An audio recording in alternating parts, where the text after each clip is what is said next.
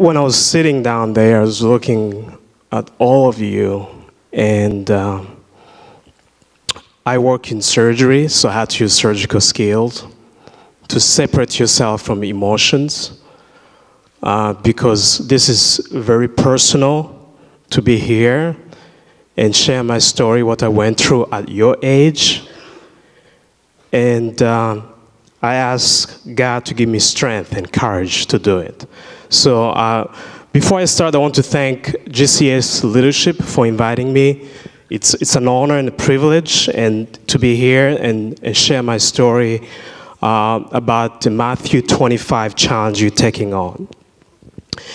Every time I, I share my story, it reminds me how grateful I am um, about something, the best thing ever happened to me in my life. And that best thing that ever happened to me in my life is my wife, Kelly.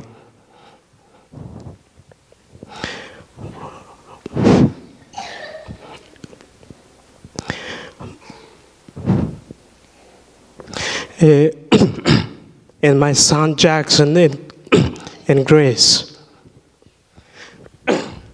So um, uh, I want them to know that you,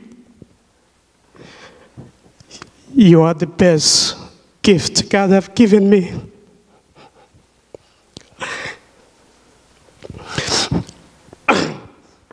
So the reason why I'm here is to encourage you guys. What you're doing is amazing. You are obeying God's word. You're putting yourself in the shoes of those children that don't have much, they have less. Growing up, I grew up in a third world country. It's Burundi. Most of you never heard about it. Burundi is in Central Africa. It's the third poorest country in the world. Third poorest country in the world. Growing up at your age, it was very difficult. I didn't have enough food, I didn't have clean water.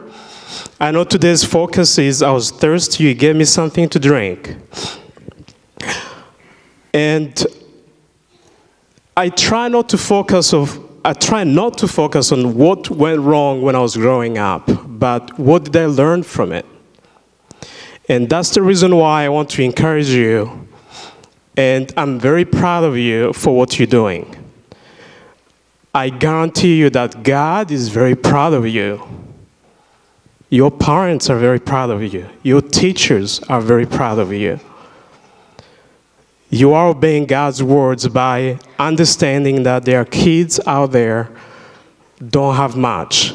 So what can we do about it? We are very blessed. You are very blessed. I'd even have to open the fridge to find out what's in the fridge because I didn't have a fridge. I wore one pair of shoes growing up until it doesn't fit anymore. I walked barefoot for years. I didn't have enough clothes. They didn't even feed me. I went to bed hungry many nights. Sometimes I went days without food. What's important about this challenge? It's not just doing it. It's showing that you appreciate what you have. How do you appreciate what you have? You don't just say thank you. You show it in action. How do you show in action? First thing you do, you don't waste what you have. You have so much blessing. Take good care of what you have. My kids knows that if, a if food goes in the trash, things don't go very well with me. Sometimes I lose it.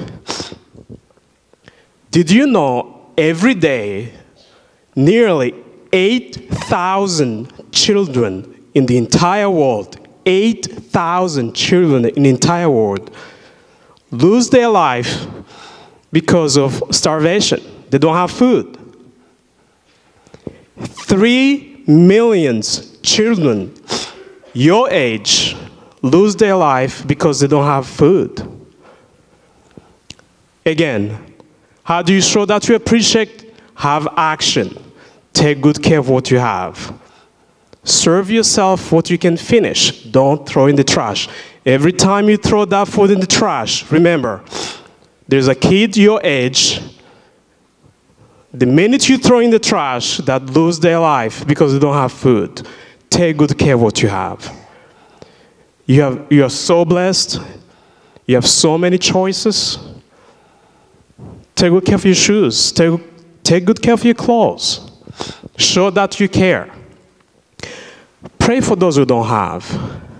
Maybe do something different this Christmas. Remember, there's a need and a want. Do you need all those pair of shoes? This Christmas, do you need two more pairs of Jordans or LeBrons? Let me challenge you. Tell your parents that can I take that money and give to the kids I'm praying for that you're wearing it today? Think about it. You'll be making a difference. And God, your parents, your teacher will be very proud of you. This morning, I'm about to finish, I only have five minutes. This morning, I pray, I ask God, God, put a message in my heart. I want to I want to make a difference with these five minutes I have a talk. And guess what? God put a message in my heart. And it's about middle school. How many middle school are in here? I beg you for the next few seconds to look me in the eye and pay attention to me. When I was your age, at 13 years old, I became a refugee. Some of you understand that. A refugee is you being forced to leave your country because it's unsafe. So I end up going in the Congo, which is a neighboring country. I was only 13 years old. I was forced to leave my parents, leave my house, leave my siblings, and go in a strange country and become a refugee. I remember that one time I went three days without food. I didn't have medicine when I was sick. And forget about food and drink and emotionally, mentally, physically. I was suffering, I was in pain. And I remember some one night I was praying. I spent hours praying, but I was only in tears because I didn't have words to express my pain. Again, 13 years old. So this is when I want you to pay attention to me, all the middle school. There are two things that saved my life. Two things. Number one, I gave my life to Christ as my Lord and Savior. And I work hard to keep my faith healthy. Remember, you don't work hard for salvation. It's grace, it's free. But you do work hard to keep that faith healthy. That's what I did as a teenager. I was involved in church. I was part of the youth group. I prayed daily. I read my Bible. And I applied the Word of God in my life during that time. Number two that saved me was my father's word of wisdom. My father told me any action you do in your life, you are planting a seed. If you plant an orange, you will always get an orange. You will never get an apple. And my father told me, plant the good seed in your life, and good things will happen to you. And I plant good seed when I was a refugee at 13 years old.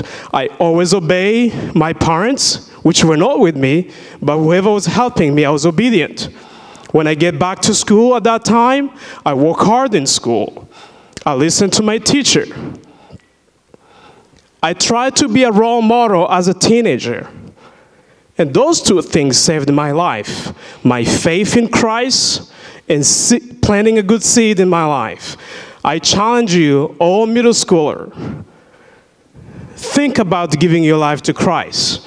If you give your life to Christ, you work on your faith, it will save your future and your life. Secondly, plant a good seed. Be a role model to your sibling, your classmate. Listen to your parents. Please, please find five minutes instead of locking yourself in the bedroom. Put the tablet down, put the iPhone down, sit down with your parents. Show them how much you appreciate. Tell them thank you for so many blessings you have. Being sent to a Christian school, having food, having shelter, having clothes. Appreciate, talk to them, use your word. It will mean the world to them. Don't talk behind your friend's back. Be kind. Be a role model. Be an example to your siblings. If you plant good seeds and you stay in good faith, you have a better future. Again, thank you so much for this opportunity. I encourage you to keep it up. Pray for those kids you're wearing around your, your neck. And be grateful in action. Show it. Don't just say it, but show it. And make a difference this Christmas. Thank you so much for the opportunity. God bless you.